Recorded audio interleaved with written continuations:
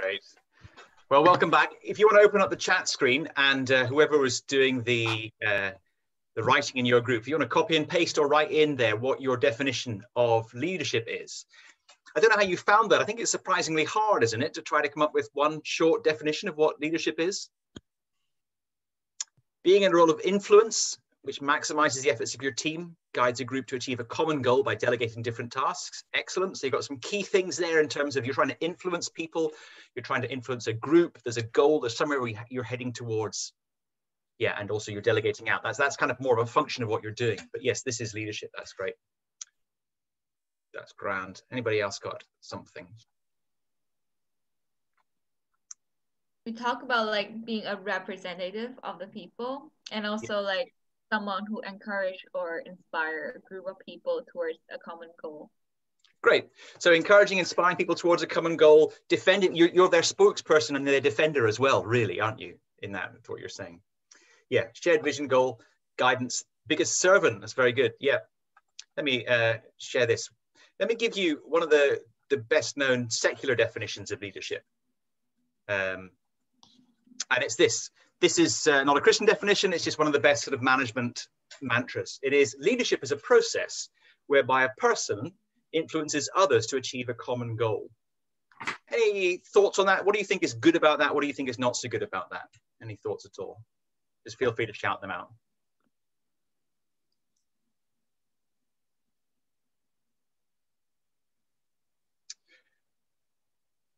I mean, one thing that's good is it's that a process. It's not an overnight thing. It takes time. Um, you're talking about influence. You're trying to move others rather than just uh, coerce them. It's about a group of people. It's a common goal. You're trying to achieve something. What's not so good about that? It says nothing about how you do it. So you could manipulate people to get your goals. I mean, advertising is a great example of manipulation. It manipulates me to buy the car, to buy the toothpaste because it'll make me more sexy or whatever it is. I don't really care the means as long as you buy my product. And whose goal is it? Well, it's the goal of Google or, or Facebook or Amazon or someone who's making a lot of money. So it doesn't necessarily have to be an ethical goal. It doesn't say a lot about that. It's also singular, it's a person rather than a group. So as a management definition, it's fine. But if you were to take it into the Christian world, into the church or into the CU, you can see immediately that it has some flaws. I'll give you the best definition that I've seen of Christian leadership or spiritual leadership.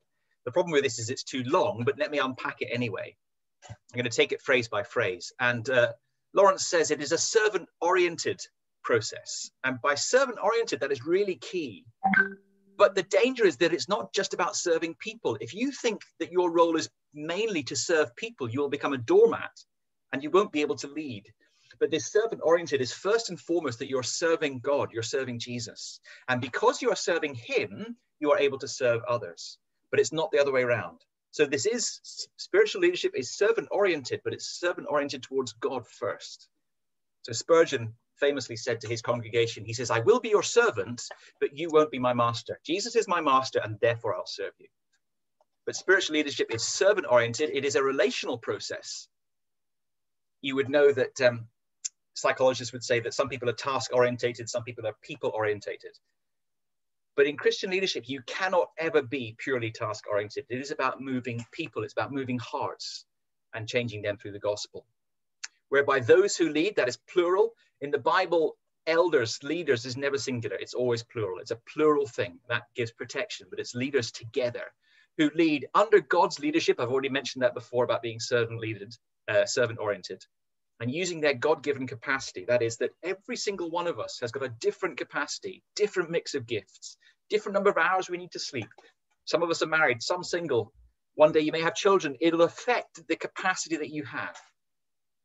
But God is not asking you to be somebody else, but He gives you God given capacity. And you seek to influence others, that is not to manipulate them.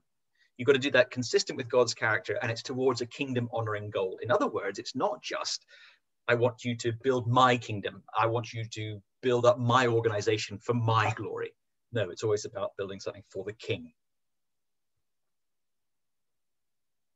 So that this definition of Christian or spiritual leadership, which is has the disadvantage of being too wordy, actually takes a good starting point and expands it to say spiritual leadership has more to it. It's about who you're serving, primarily serving Christ so that you can serve others for God's glory and so on.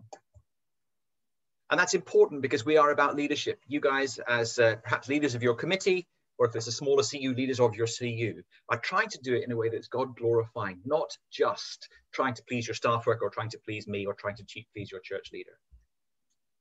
Does that make sense as a definition of leadership? Is that fair enough? Grand. We'll be looking at character primarily, and I'm just coming back to this slide here that who we are, character matters most. But what leaders do then is define where are we going, kingdom honoring goal, how are we going to get there? How am I going to lead my team in a way that is consistent with the gospel? And what are we going to do next? And what I want to turn to then is, is target of where are we going, which is all about vision. And I think that of the three of these, this is the most important thing for the leader to get. This is the vital thing. And it is trying to help your people see where can we go as a CU this year. And it is about vision. And I should just say that uh, what is vision? You might have heard mission statements, vision statements. Vision really is, as you get from the word vision, as you get from the idea of seeing, it's, it's what will the future look like? Let's say you slip into a coma or you fall asleep like Sleeping Beauty for five years and you wake up. What does the CU look like?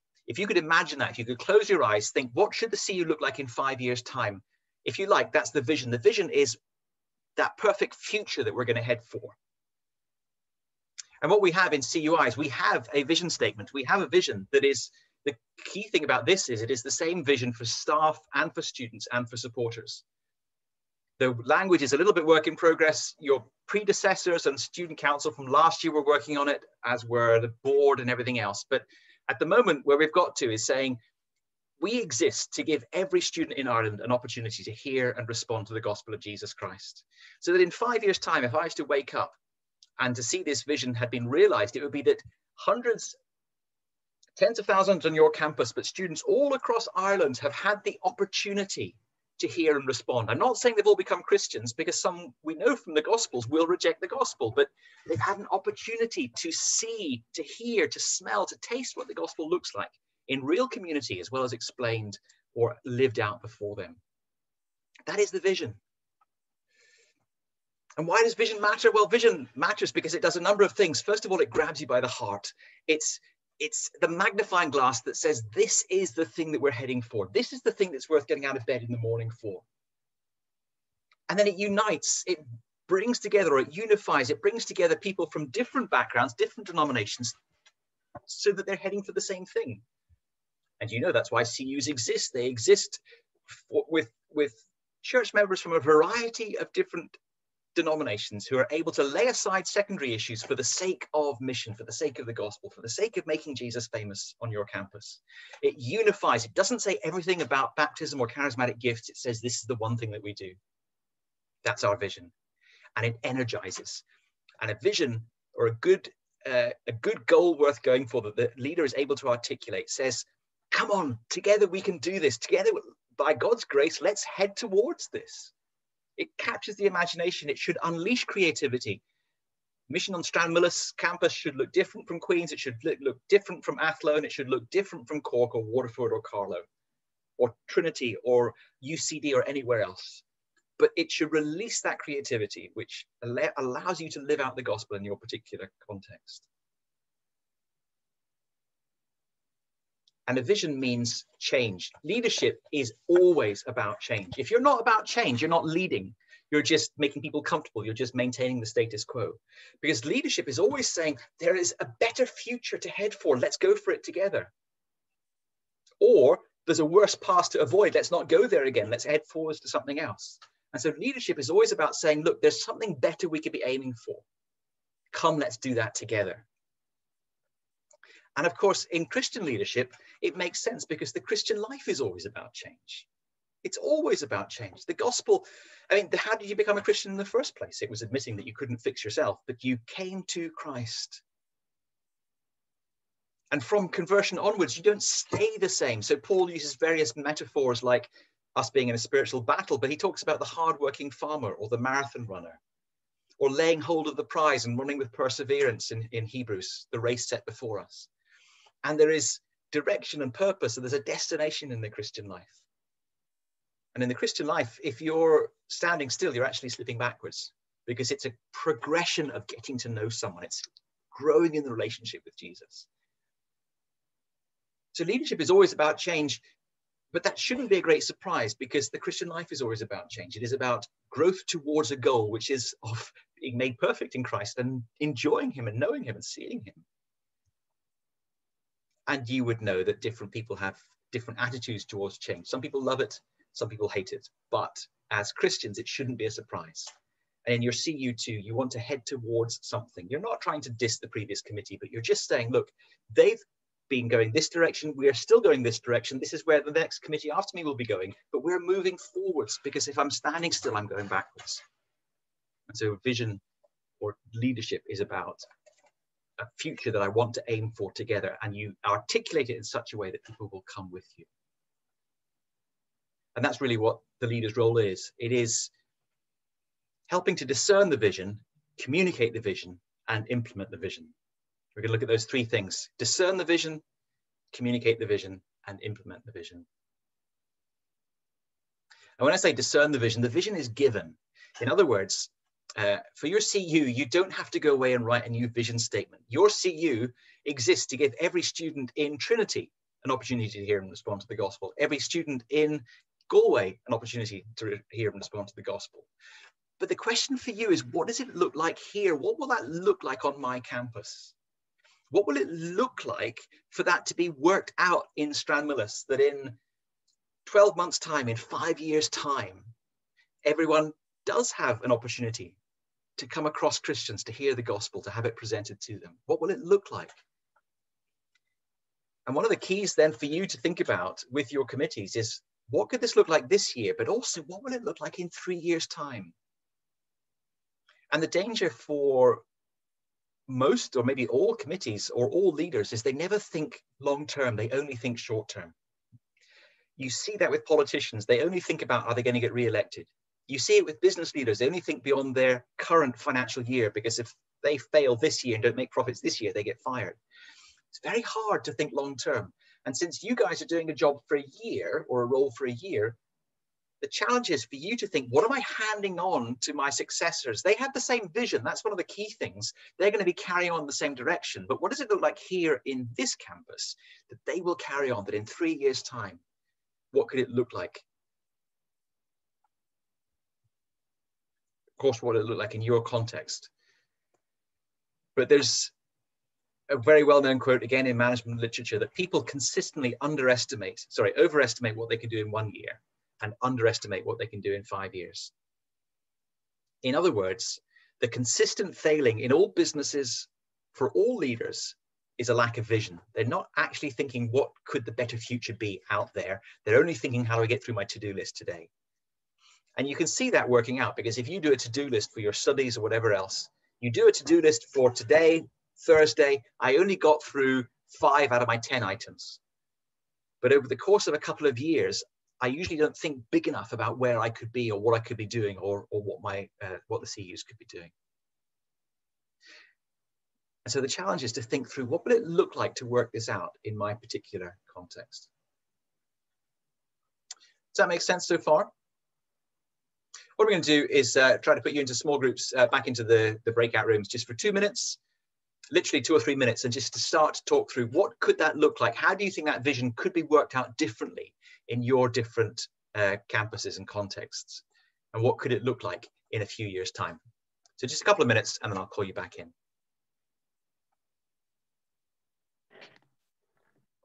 So that's discerning the vision. What will it actually look like in my particular context?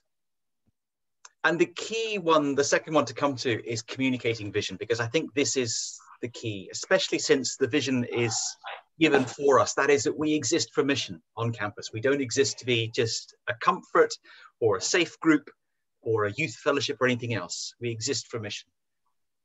And the thing is, how do you communicate that? And the first is that you, as the leader, have to own and live and breathe the vision. I don't mean you have to have it tattooed, although if you want to go ahead and do that with the CUI logo, I'm very, very happy for that.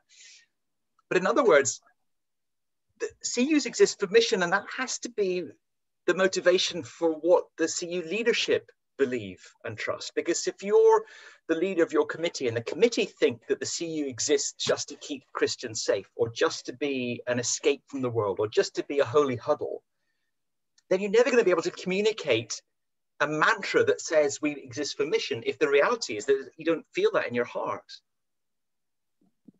It's got to be kind of um, well, it's got to be something that you you own that that you say, yeah, that's okay. That's what we exist for. There are other things that we do, but this is the key, and everything else has to feed into this.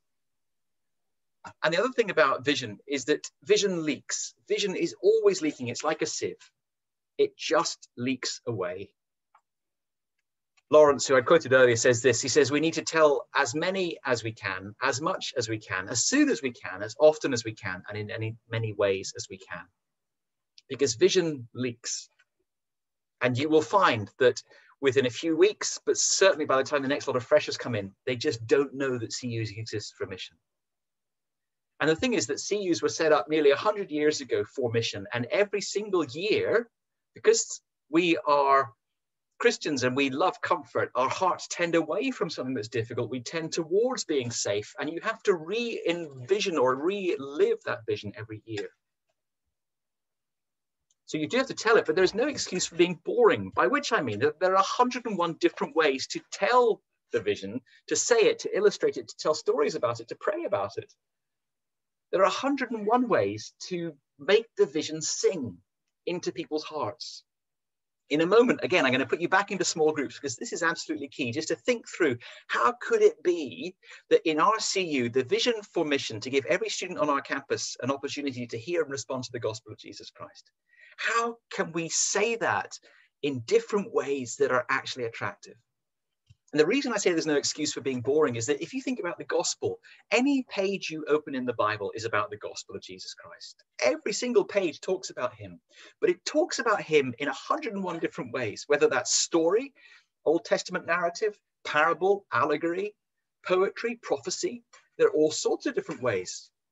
And you think about how Jesus, he says, I've come to preach the kingdom. He's come to die, but he does it in ways that are lived out. He explains it. He tells stories about it. He does miracles and things that illustrate it. There are all sorts of different ways of living out, of showing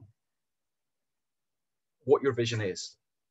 So if you thought about, let, let's say we were not in a COVID world, let's say that you were meeting as normal on a Thursday night or a Tuesday night as a CU. What elements of that particular evening do you think you could use as a way to tell the vision that you exist for mission, illustrate it, show stories about it, live it out, ways of articulating it, weaving it through what you already do, so that everything you do points towards your vision, points towards the purpose why you exist. Does that make sense? Because I'm going to put you into small groups. I'm going to put you back into the breakout rooms. You can give me some feedback this time. You've got slightly longer, seven or eight minutes this time, just to think what are the different ways in which we could illustrate, show, or articulate what our vision for mission is. Not just in a standard Tuesday night meeting, but in different forms as well. So let me put you back into those small groups. And after this one, we will take some feedback.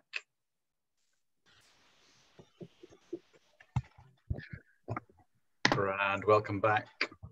Any ideas then? What did you, maybe one idea from each group just to share, ways in which you could illustrate or live out or explain the vision for mission to your CU?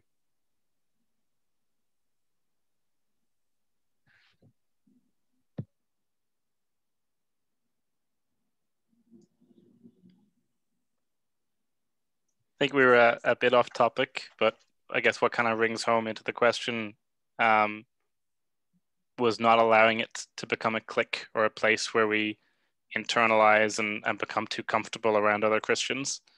That while it's not always the most comfortable, it is about about moving out. Yep, very good, excellent. Grand. Let's let's uh, have another one from another group as well, and then we'll think a bit more.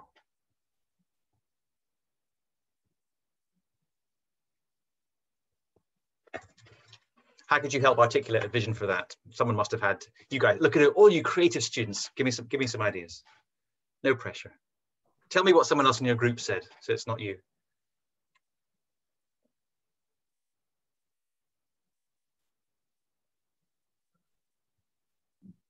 I think we got a bit off topic, but like we are talking about how like we should um as a committee have like a vision, like share our vision as a committee.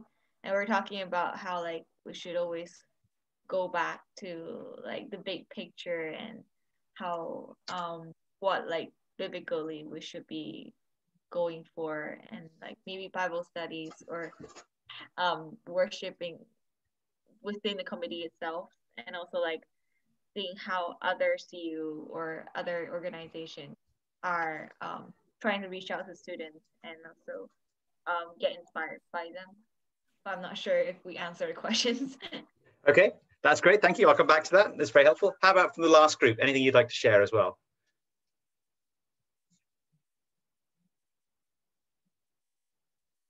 Um, one thing we said was to be reminding people like what Christ has done in us and just like about his amazing love, like helping them really know that. Because once they know that, like then their hearts will be more like, wow, I really want like other people to be a part of this amazing family and like this love and all of that. So like just really teaching them that, like it's kind of an indirect way to like get that focus on mission again. Yep, that's very helpful. Thank you. Those are great. Thank you. Um, let me just share the screen again.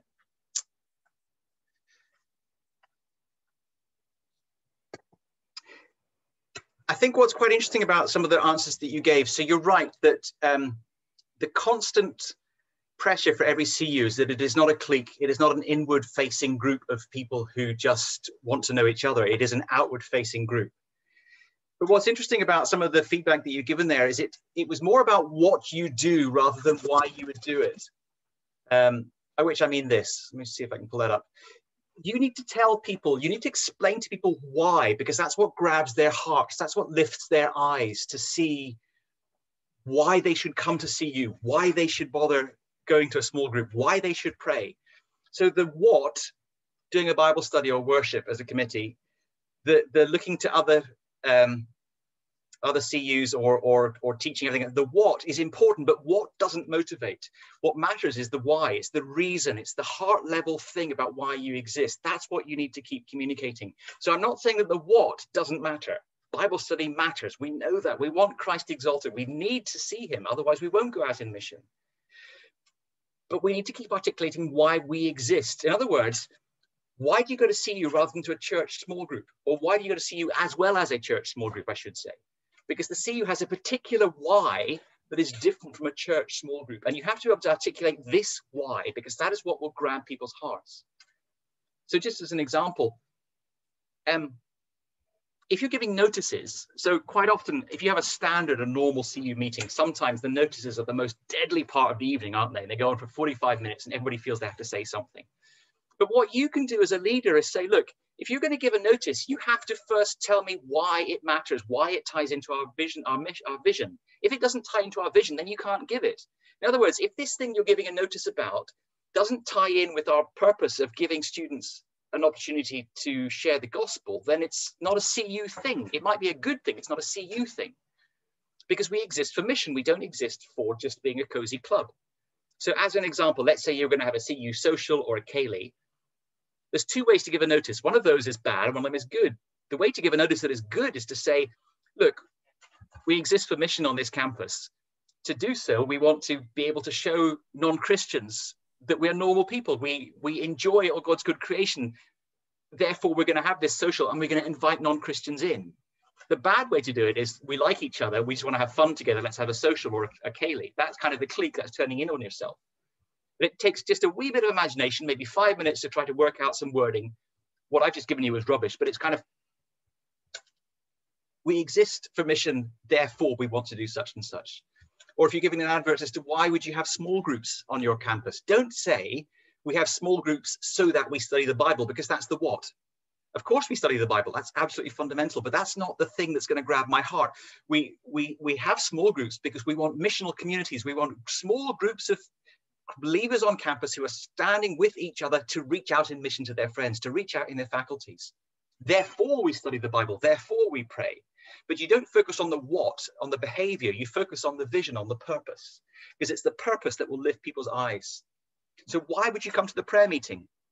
because we're going to spend an hour praying. No, that's what you do. You come because we are an outpost of God's kingdom breaking in on this campus. We're a people who are called as a royal priesthood and we are totally dependent on him. We cannot stand on this campus as Christians. We cannot survive in our in our lectures unless we stand together as believers and want to stand for him. Why would you go on a church search, etc., etc.? So that what you're trying to do is every time you're saying something um, in a CU meeting, I, again, I'm just using the, the example of a CU meeting, you're trying to tie it back to the fact that we are missional, we exist for mission. And the more you do that, slowly it catches with people. Every single one is like one more Velcro hook that will help to catch their hearts.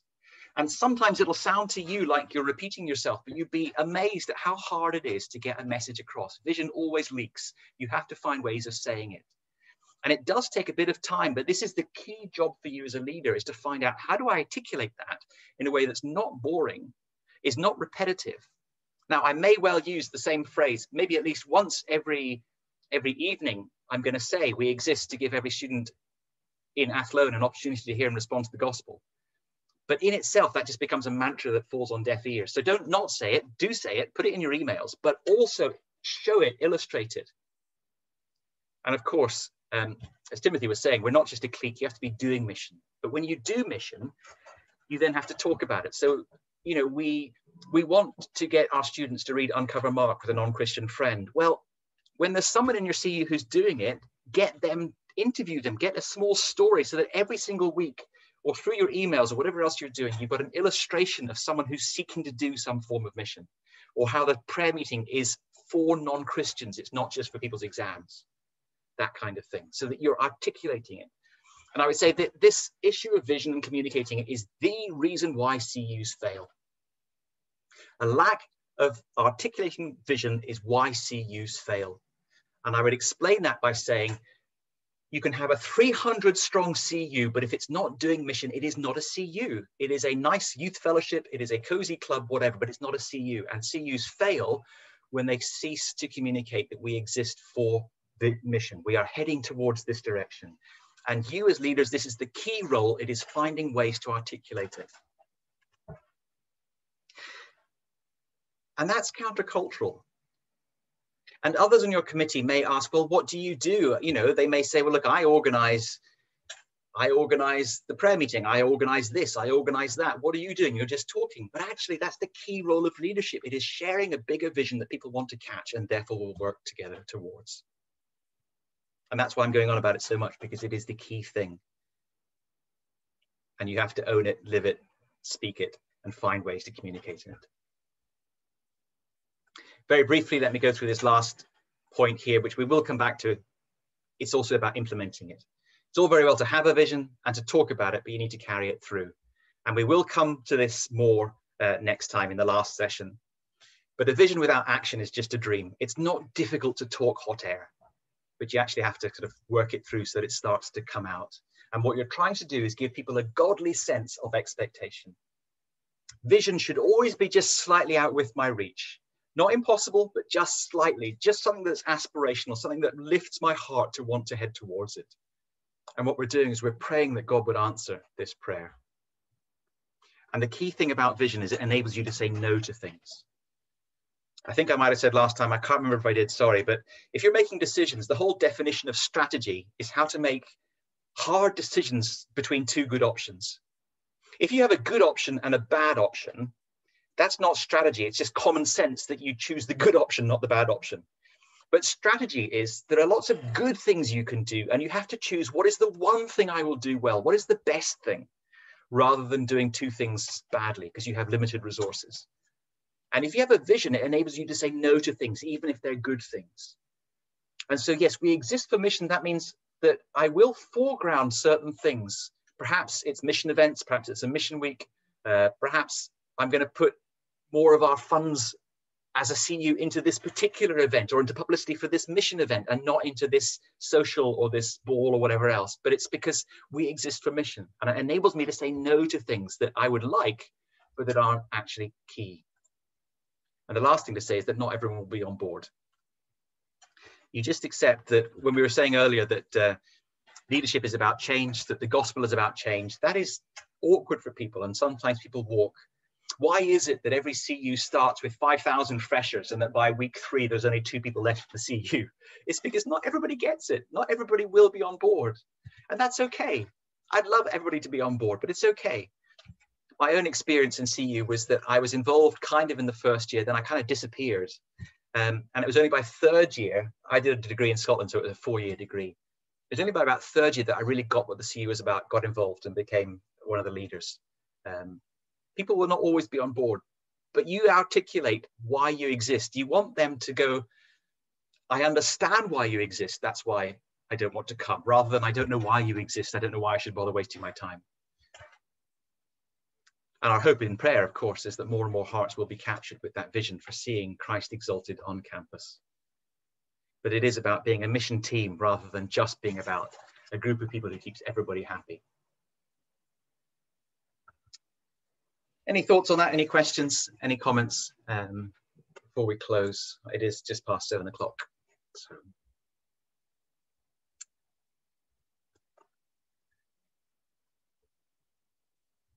that make sense?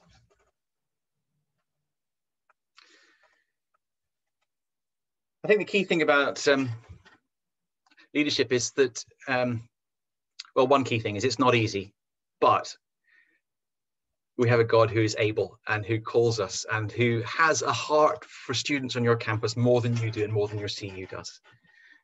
And CUs through the years have proven God faithful that when they've stepped out in faith and sought to proclaim the gospel, that students have come to know him. And our heart's desire is that students across every campus in Ireland this year, there will be at least one student on every campus in Ireland who will come to Christ. We pray for many, many more, but we're asking that. And CUs exist to give every student an opportunity. Let me pray. Father, thank you for the gospel of your Son that has brought us into your family, that we are secure in Christ, that we are safe in him. And because our hearts are thrilled by seeing who Jesus is and by being close to him, we want to draw others to know him too. And we do that out of a sense of deep failure and weakness. Thank you that even Paul said that it is in our weakness that your strength, your grace is made evident. And we pray that we as leaders would be able to help our committees and help our CUs to see that it's worth going for, that your glory is worth everything, that it is worth it to call other students to come and know you. And help us, please, to be able to communicate that with our CUs and to help them to move forward, to take that one step this year, this semester, even during a COVID year, that will help them to draw others in to know Jesus Christ for their joy and for your glory, we pray. Amen. Grand. Well, thank you very much, everybody.